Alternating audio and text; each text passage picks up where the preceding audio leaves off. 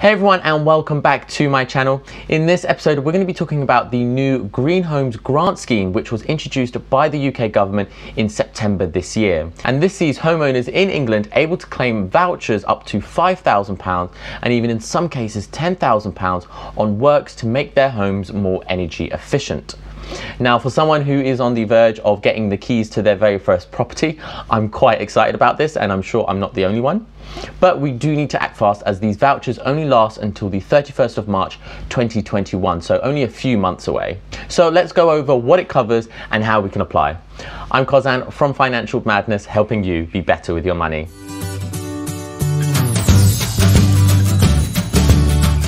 So let's go over what it is. The Green Homes Grant Scheme was announced in the summer budget in July as part of a £3 billion investment package to support 140,000 green jobs, upgrade buildings, and all in all, make the world a better place by reducing emissions. So how are they going to do this? The government will actually be issuing vouchers to help fund certain energy efficient works to your property. Now these vouchers only cover two thirds of the cost of the work being done with a maximum amount of £5,000 per household. For example, if I had some insulation work being done on my property and this work cost £3,000, under this scheme I can cover £2,000 of it as a voucher from the government, 2000 being two thirds of the full cost of the job. Please note that for most of us, this scheme will only be covering two thirds of the cost. This means that the remaining one third will have to come out of our own pocket. So in this example, if £2,000 is being covered by the voucher, I will have to pay the remaining £1,000 from my own pocket. However, one small difference, if you or someone in your household are claiming certain benefits, you may be eligible to claim vouchers that will cover 100% of the cost, with the maximum voucher amount being £10,000 rather than £5,000. Now let's understand what kind of works are covered by this scheme. Now, the types of works are actually categorized into two sections. You've got your primaries and your secondary types of work. So the primary works cover insulation measures to your property. So this is installations to your floor, your walls, your loft, etc., etc. Or low carbon heating measures, for example, a biomass boiler or a hybrid heat pump. Now, one thing that we really do need to note is that for any of the primary jobs, as well as the secondary jobs, which I'm about to mention, the work can only be a new or a top up installation. The vouchers do not cover any replacement jobs. So if I already have insulation in my walls, I cannot take them out and put new ones in under this voucher scheme. I can add more, but I cannot replace them. So it's key to understand that this is only for new installments or top up installments, not a replacement. Moving on to the secondary jobs, now these are a bit more varied and these cover things like draft proofing, upgrading your windows to double or triple glazing, getting external energy efficient doors, etc, etc. However, there is one small catch. To use the voucher, you have to use it on at least one of the primary jobs. So that is home insulation or low carbon heating. Now, once you've secured the voucher for your primary job, you'll get the same equivalent voucher for your secondary job. Sounds a bit confusing, so let's use an example. Say for my primary job, I'm gonna go with loft insulation, and I managed to secure a voucher of £500. I will then be allowed to get another voucher at a maximum of £500 to cover any secondary jobs. For example, upgrading my windows from a double to a triple glazing. Now, as you can see, the voucher that you get for your secondary job is really driven by what voucher you get for your primary job, as the value for them will always have to be the same. Please note, however, that you don't actually have to go for the secondary job. If you just want to go for the primary one, that's absolutely fine, but the secondary jobs are there if you choose to have it.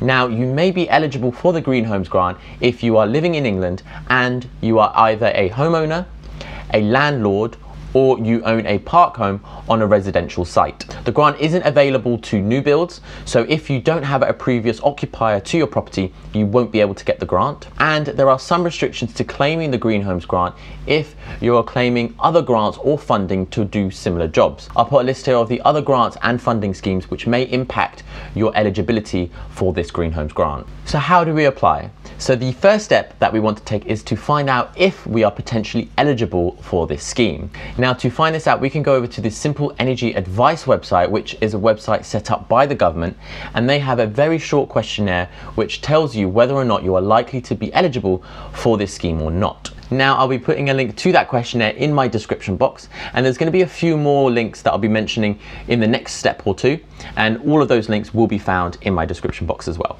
Now step two is that you now have to find tradespeople to carry out the work for you.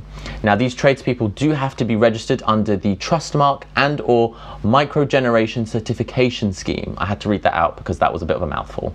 The website that I mentioned earlier also has a link to help you find tradesmen within your local area. The government actually advised that you get at least three quotes from different trades companies to make sure you're getting the best deal. I would also suggest that you find a couple of quotes outside of the scheme, just in case some tradespeople take this opportunity to overinflate their prices under this scheme. Now, once you've got someone booked in, we move on to the third and final step, and this is to get the voucher by going onto the government website and filling out an online application. And I'll just display all the information that you will need to fill out this application form. So obviously there are some benefits into getting these works done to your property.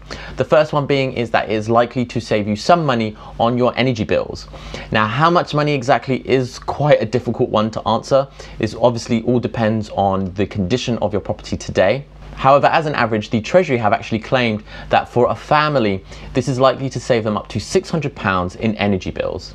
However, if you want to get a more personalized idea of how much you could be saving, if you go over to the Simple Energy Advice website, they have a really decent questionnaire where they pull up information they already know about your property and they'll get you to fill in more information as well, such as what type of boiler you have, if you have single, double, or even triple glazing in your property, etc. etc. And based on this information, it will suggest to you what types of works that you can get done on your property.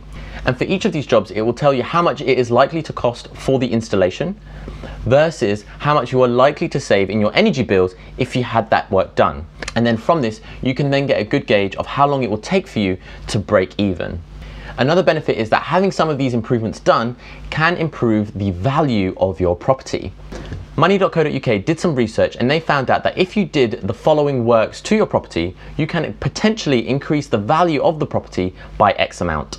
Now, unfortunately, this scheme doesn't come without its drawbacks, with the major drawback being that applicants are actually finding it difficult to actually book tradespeople in with many stating that they are unable to get quotes from installers. And once they do get a quote they are likely to already be fully booked by March 2021 which is of course the cutoff date for when these vouchers do expire, which is why there has been an increase in demand from businesses and homeowners to get the government to push back this 31st of March deadline, claiming that six months simply isn't enough time for everyone to find a credible tradesperson and to book them in. And I would have to agree. I know I mentioned at the beginning of the video that I was quite excited to use this scheme. However, I'm unlikely to get the keys to my property until the end of the month. And I have a feeling by the time it gets to December, it's already gonna be a little bit too late to book anyone if it's not already too late already. Which is a shame because I do think this is an excellent scheme, especially to try and help boost the economy during these COVID times. But I do think it has been executed quite poorly. But hopefully the government will review and extend the deadline, and that could mean that we can see the full effect of this scheme being put into use. But I guess time will only tell on that. Cool, so that's it for this week's episode. Let me know in the comment section down below if you've got any success or woeful stories about this scheme. And as always, if you thought today's episode was helpful, please do smash that like button. And I release a video every single Monday, so if you want to keep up to date with those, hit the subscribe button as well. See you later.